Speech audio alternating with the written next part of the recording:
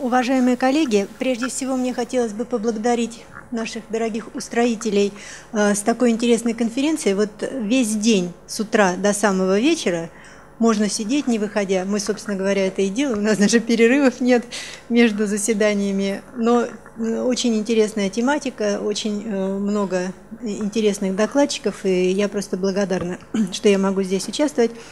И э, сразу хочу сказать, что название немножечко не э, полностью отражает э, содержание моего сообщения. Оно будет существенно шире и будет касаться гетерогенности взаимоотношений опухоли и микроокружения, в том числе э, с приведением примеров наших собственных исследований. Я очень люблю этот слайд, потому что он исчерпывающе характеризует э, всю сложность и неоднозначность регуляции экосистемы опухолевых клеток. И поскольку сегодня э, мы занимаемся онкоиммунологией, то, конечно, здесь огромная роль э, принадлежит нейроиммунной эндокринной регуляции. Причем э, я хочу обратить ваше внимание, что речь идет не о канцерогенезе, а именно об опухолевой болезни, об опухолевой прогрессии. Если проблема межопухолевой гетерогенности в свое время была практически решена, и, в общем, для каждой локализации и для каждой для каждого типа опухоли применяется э, собственное э, лечение э, и разработаны схемы и модальности разные, то ставшая перед онкологами буквально десятилетия назад проблема внутриопухолевой гетерогенности чрезвычайно оказалась трудной и, наверное, потребуется еще очень много лет для того, чтобы ее решить. Внутриопухолевая гетерогенность – это есть результат клональной эволюции – опухоли, и оказалось, что иммунная система э, является активнейшим участником этой клональной эволюции и, по сути дела, э, одним из ведущих игроков при формировании адаптивного микроокружения, которое, собственно, и приводит к появлению разных новых клонов опухоли. Особенности биологического поведения каждой опухоли определяются как специфическими молекулярно-генетическими изменениями опухолевых клеток, так и микроокружения. Это уже э, абсолютно непреложный факт. И важным является то, что такая распространенная модальность, как э, химиотерапия, она является направляющим фактором клонального разнообразия опухоли. И что тоже сейчас оказалось очень важным, сегодня упоминали э, иностранные лекторы Зитвогель, исследовательницу из э, Франции, э, что химиотерапия обеспечивает условия для вовлечения иммунной системы в ответ на опухолевые клетки. Причем это происходит не для каждого химиопрепарата, а только для тех, которые способны вызывать иммуногенную смерть, а, собственно говоря, э, расшифровка заключается в том, что они могут действовать генотоксически и э, на поверхности клеток могут э, появляться неантигены, стрессорно индуцированные, в частности, которые позволяют распознавать иммунной системе эти опухолевые клетки и остаточные опухолевые клетки уничтожать по типу адаптивного иммунного ответа. А, мне хотелось бы остановить, остановиться на том, что в настоящее время есть две основных э, концепции а, канцерогенеза. Э, первая гласит о том, что рак – это патологический микрокосм, который возникает в результате дерегуляции э, генома клетки. Это теория соматических мутаций. И если мы берем этого внимание, то значит для лечения злокачественных новообразований необходимо уничтожение или остановка пролиферации раковой клетки – другой э, взгляд – это то, что рак возникает в результате дерегуляции взаимоотношений между клетками и их микроокружением. Хочу сразу добавить, я здесь не отметила, это э, не исключает, а также предполагает и структурные генетические повреждения, эпигенетические повреждения генетического материала. Но здесь э, немножечко другой взгляд на то, как лечить. А, здесь лечить можно не прямым воздействием на опухолевую клетку, а модулировать микроокружение для реверсии опухолевого фенотипа или торможения опухолевой прогрессии. А, эти две теории, они абсолютно друг другу не противоречат, Но э, стоит сказать, что если для первой э, роль иммунной системы была достаточно жестко детерминирована, как только системы, поддерживающей опухолевый рост, мы это знаем из обзора Ханахана и Венберга 2011 года, то для второй теории иммунная система является одной из самых активнейших участников Э, взаимоотношений с опухолевой клеткой. Вопросы амбивалентности, то есть как бы разных э, направлений э, взаимодействия иммунной системы и злокачественных новообразований сегодня уже поднимались. И может иммунная система выступать и организовывать воспалительное микроокружение, которое индуцирует опухолевую прогрессию, промотирует опухолевый рост – Э, либо может развиваться иммунный ответ против опухоли.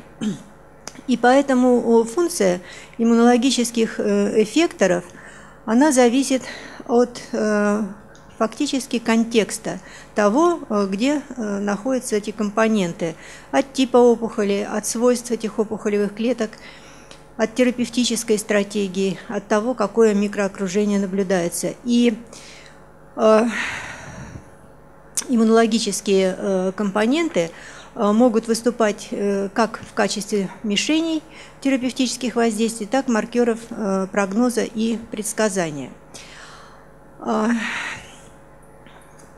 Я хотела бы остановиться на наших находках об особенностях паранхематозно-стромальных воспалительных отношений в опухоли и представить данные об инфильтрации иммунокомпетентными клетками различных компартментов опухоли молочной железы э, у больных, которые получали предоперационную химиотерапию по представленным схемам, и срок наблюдения составил 5 лет. Э, значит, здесь э, представлены различные сайты опухоли рака молочной железы, которые подразделены на несколько типов взаимоотношений стромально-паренхематозных Э, и воспалительных э, компонентов. Это сайт, э, который назван условно нежно-волокнистой стромой, грубо-волокнистой стромой, максимальными стромально-паренхематозными взаимодействиями, просто клетки паренхематозных структур и просветы протоковых структур, где растет опухоль. Мы показали распределение CD68 э, положительных клеток, это э, макрофаги, как вы все знаете, э, и клеток, несущих стабилин, рецептор к стабилину-1, который экспрессируется на альтернативно активированных макрофагах М2 и, собственно говоря, помогает им работать в проопухолевом режиме. А, несколько слов о грубоволокнистой строме. Она представлена коллагеновыми волокнами, преобладает значительно над паренхимой а, и э, при этом утрачивает функции. Уменьшает способность представлять клеткам э, молекулы, которые активируют функции, то есть имеется в виду опухолевые клетки, и э, фактически исключает возможность мезонхимальной мезонхимального перехода, эпителиально-мезонхимального перехода опухолевых клеток, а позволяет только амебоидный вариант инвазии. А, в отличие от этого, в нежно-волокнистой строме возможно лучшие условия для амебоидного и мезонхимального вариантов инвазивного роста. И э, надо обязательно э, иметь в виду, что влияние стромы на инвазивные свойства опухоли в значительной степени обусловлено вариантом активности клеточных компонентов, которые инфильтрируют строму. Так вот, мы Э, посмотрели экспрессию CD68 и стабилина. И э, также еще ряд молекул, которые представляют из себя хитиназоподобные белки, и тоже э, считаются ассоциированными с альтернативно активированными макрофагами. Я представлю несколько диаграмм, на которых, из которых будет видно, что выраженность экспрессии Э, разных эм, клеток, несущих разные маркеры, о которых я сказала, она совершенно разная в разных компартментах и имеет э, разную маркерную э, или прогностическую значимость. Ну, следует сказать, что э, минимально выраженная экспрессия как раз встречается в грубой волокнистой строме, которую я охарактеризовала, максимальная, соответственно, э, в нежно-волокнистой строме. А вот отношение с лимфогенным э, метастазированием, э, взаимосвязь и корреляцию э, показал э, CD68 маркер э, при наличии лимфогенных метастазов средний балл экспрессии этого маркера э, был ниже э, в клетках, располагающихся среди паренхематозных структур. Второе наблюдение о том, что э, с эффектом НАХТ связана более низкая экспрессия CD68 в участках опухоли с грубоволокнистой стромой – а, еще одно наблюдение по поводу эффективности НАХТ, что в случаях с прогрессированием э, процесса после э, проведения э, химиотерапии сработал SICLP, это стабилин, связанный хитиназоподобный белок в участках с нежно-волокнистой стромой. Его содержание было выше. А я могла бы продолжать перечень э, вот этих э, взаимоотношений, э, которые нами были выявлены. Сразу хочу сказать, что пока это только накопление фактического материала для того, чтобы, во-первых, провести подтверждающие эксперименты, во-вторых, получить дополнительные данные для того, чтобы выявить действительно работающие маркеры. То есть обнаружена прямая корреляция среднего балла экспрессии CD68 и э, рецептора стабилина в клетках воспалительного инфильтрата. Э, обнаружена связь эффекта НАХТ э, с экспрессией CD68 и SCLP. Э, и, кроме того, мы обнаружили корреляцию между количеством лимфоузлов с метастазами и выраженностью экспрессии CD68 в клетках воспалительного инфильтрата именно в двух ее компартментах – паренхематозная структура грубоволокнистая – и э, между количеством ИРС-1 в клетках воспалительного инфильтрата. А, мы говорили о больных, э, которые получали э, химиотерапию. А, мы провели подобные исследования по оценке инфильтрации иммунокомпетентными клетками различных компартментов опухоли у больных, не получавших предоперационной химиотерапии. Ну, сразу могу сказать, что обычные инфильтрирующие клетки CD3, CD4, CD8, их э, содержание было больше в участках опухоли снежно-волокнистой стромой с максимальным стромально-паренхематозным взаимодействием, а отсутствие чаще обнаруживалось э, в просветах э, протокоподобных опухолевых структур и паренхематозных структурах. А, что касается CD56, он достаточно редко обнаруживался в ткани молочной, рака молочной железы. Дальше э, я характеризую экспрессию CD68 э, положительных клеток в воспалительном инфильтрате опухоли э, и, и связь с лимфогенным метастазированием.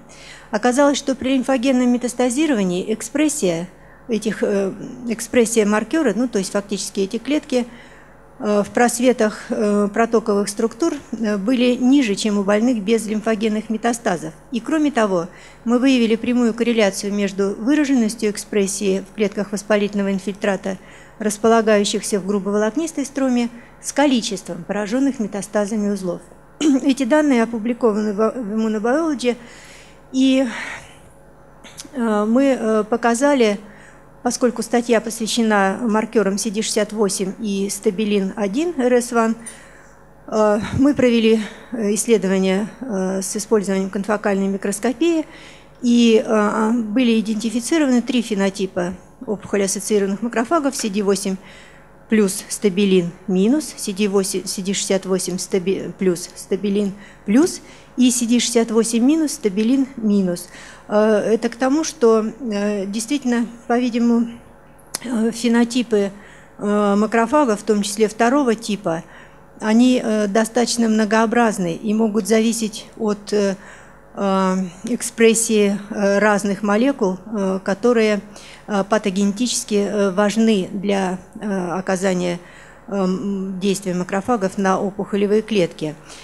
А вот здесь к сожалению, как я боялась, последний, последняя, последний столбик не проявляется, но просто я хочу сказать, что мы доказали, что есть РС-1 положительные клетки, CD68 положительные, а вот на нижнем самом правом Э, квадратике э, мы должны были видеть э, совместное окрашивание зеленое и красное, то есть клетки, которые несу, экспрессируют и CD68, и стабилин. Ну вот здесь вот более четко видно, верхняя часть это CD68 воспалительные клетки, они зелененькие при одинарной покраске. И в воспалительных клетках нежно-волокнистой строме в четвертом столбике – Ой, к сожалению, здесь видно плохо, но э, мы можем видеть э, совместно э, и зеленым окрашенные клетки, и красным, которое говорит о том, что это двойная окраска, и это макрофаги положительные по CD68 и по RS1.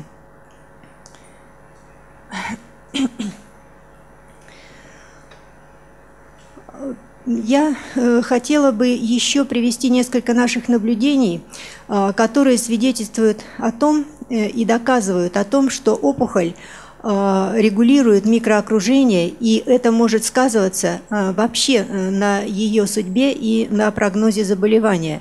Мы знаем, что первичная опухоль обеспечивает инвазию, контролирует формирование метастатических ниш, таким образом, что продуцирует различные цитокины и ростовые факторы, но при этом она также модулирует поведение не только опухолевых клеток, но и компонентов микроокружения.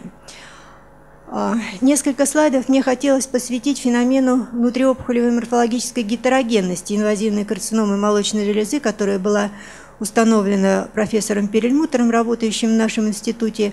И мы сейчас интенсивно изучаем природу этой гетерогенности, но а, по сути своей физиологической а, гетерогенные структуры, которые представлены вот здесь на слайде, это тубулярные структуры, это дискретные клетки, это трабекулярные структуры, э, солидные, я просто за неимением времени не буду их характеризовать, их э, видно, и альвеолярные, которые похожи на солидные, но гораздо меньшей численности, чем солидные. Так вот, эти структуры можно трактовать как разные виды инвазии опухолевых клеток, а мы знаем, что инвазия является одним из важнейших атрибутов э, опухолевой прогрессии и метастазирования. И э, на основании э, больших исследований на сотнях пациентах, проведенных ассоциативных, было показано, что эти структуры ассоциированы с разным прогнозом и имеют различия в характере генной экспрессии. Это я сейчас покажу. И оказалось, что мы также посмотрели э, инфильтрацию CD68 клеток э, в зависимости от э, их близости к морфологическим структурам. Оказалось, что выраженность инфильтрации макрофагами микроокружения различных этих структур, она достаточно редкая. И чаще макрофаги выявлялись в микроокружении вдали от опухолевых элементов. А, при наличии метастазов в лимфатические узлы э, наблюдалась более слабая инфильтрация CD68 макрофагов э, в окружении трабекулярных структур и дискретных групп клеток, а также на отдалении от опухолевых структур. А, мы также посмотрели связь с гематогенными метастазами и обнаружили также менее интенсивную инфильтрацию CD68 макрофагами, которые располагаются вокруг э, дискретных групп и на отдалении от структур. С наличием гематогенных метастазов было также ассоциировано достоверное снижение количества CD8 лимфоцитов вблизи дискретно расположенных опухолевых клеток. Везде здесь фигурируют дискретно расположенные опухолевые клетки, которые рассматриваются сейчас, э, судя по э, полученным нами результатам, как одни из э, наиболее злокачественно потенциальные для диссеминации.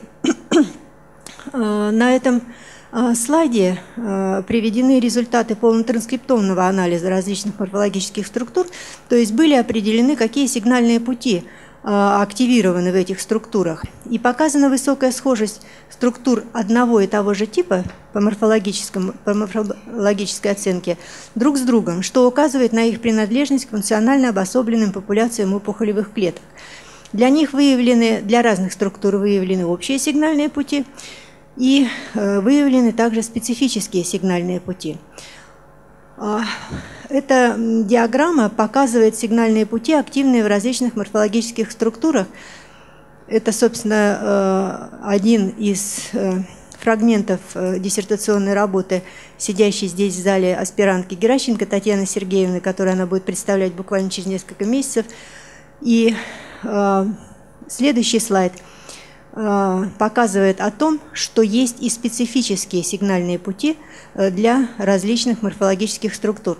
То есть о чем это говорит? Это говорит о том, что, морфологи... что опухолевые образования вот в качестве различных морфологических структур могут совершенно по-разному влиять на микроокружение Э, в тех компартментах, в которых они находятся. Э, мы сделали также э, пока предварительный анализ экспрессии иммунологических факторов, то есть тех, которые непосредственно вовлечены в регуляцию иммунной системы.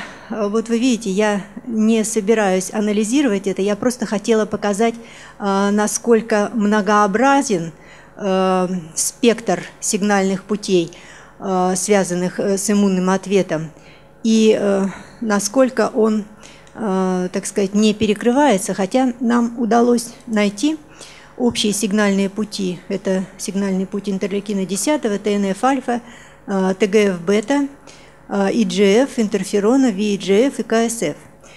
И э, на этом основании можно было сказать, э, на основании анализа, который э, был проведен более подробно, э, что в дискретных структурах наблюдается высокий уровень экспрессии метастатических генов, в них в частности выражена активация воспалительных факторов, пути ТГФ-бета, проопухолевых хемокинов – что может обеспечивать влияние на опухолевые клетки и микроокружение. Но я еще раз повторяю, что это требует э, дальнейшего анализа и э, более четкой интерпретации. И, пожалуй, последние несколько слайдов, которые доказывают о том, что возможность регуляции опухоли микроокружения может приводить к определению исхода злокачественного новообразования – Э, мы э, провели исследование э, связи аберраций опухолевых клеток, связанных с делецией генов цитокинов. Микроэрей-анализ на платформе Affymetrix и значит, исследовали нумерологические нарушения – то есть э, copy number variation, изменение числа копий генетического материала а, для 75 э, факторов э, иммунной системы и ростовых факторов, это хемокины, рецепторы, интерлейкины, ростовые факторы. И оказалось, что амплификация ряда сайтов генов, э, в, котор, в которых находятся гены, э, в частности интерлейкина 10, YKL40, DARS, связано с э, повышением ответа на химиотерапию. А наоборот, допустим, потеря функции ряда интерлейкинов, расположенных ниже, связана с тоже с, с повышением ответа на химиотерапию. И, э, кроме того, мы показали э, прямую связь безметастатической выживаемости больных раком молочной железы с делецией локусов цитокинов. Это в основном э, химокиновые гены и вот уже упоминавшийся здесь стабилин. Потеря функции хемотактических молекул и стабилина, мы видим, снижает метастазирование, это наблюдение проводилось до 80 месяцев. То есть это данные э, достаточно достоверные. И, ну, директор, э, да, все, тогда э, буквально это последний слайд, и я хотела бы как бы подвести итог о том, что же мы сейчас можем предпринять э, для того, чтобы учесть вот эти вот многообразные условия взаимоотношения опухоли и микроокружения и, соответственно, необходимость э, разной интерпретации и разного подхода как в поиске мишеней, так и маркеров. То есть это учет гетерогенности опухоли и микроокружения, это необходимо э, обязательно найти иммунологические маркеры предсказания эффективности химиотерапии, потому что на самом деле они есть, и я, например, даже знаю данные о том, что при колоректальном раке э, CD8T лимфоциты являются одним из жестких маркеров предсказания прогноза, причем это даже системные Т-лимфоциты, то есть у нас есть возможность найти и системные какие-то маркеры, которые бы определялись достаточно легко. А, уже поднимался вопрос о сочетании химиотерапии с иммунотерапией, для которого необходим поиск предсказательных критериев. Про вариации числа копий генов цитокинов, э, я думаю, что тоже можно говорить как э, о маркерах. И морфологическая гетерогенность опухоли, она, ее изучение перспективно для разработки критериев предсказания и прогноза по оценке качественного и количественного состава структур э, именно морфологического материала.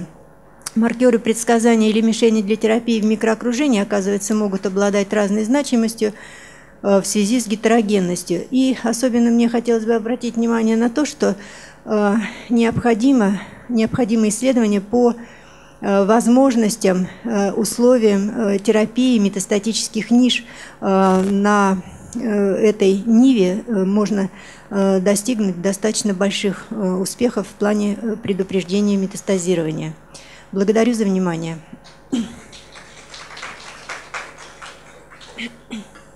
Ну, к сожалению, вы время выбрали. Один вопрос, если можно.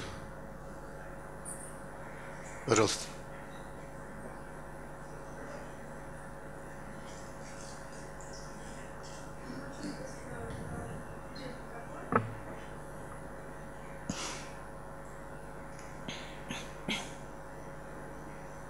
такой вопрос. Э, молекула стабилин-1, это то же самое, что клевер-1? Потому что я встречала в публикациях клевер-1, дроп стабилин-1. Им э, определяли это М1 фенотип макрофагов или М2. И какие-то ингибиторы появились, которые инвитру показали свою активность против именно этой молекулы. молекулы. И что именно эта, молек, эта молекула и отдельно э, имеет иммуносупрессирующее действие, без М2 макрофагов. Да, Спасибо. Я, да, я просто не говорила об этом за неимением а. времени, да. Спасибо.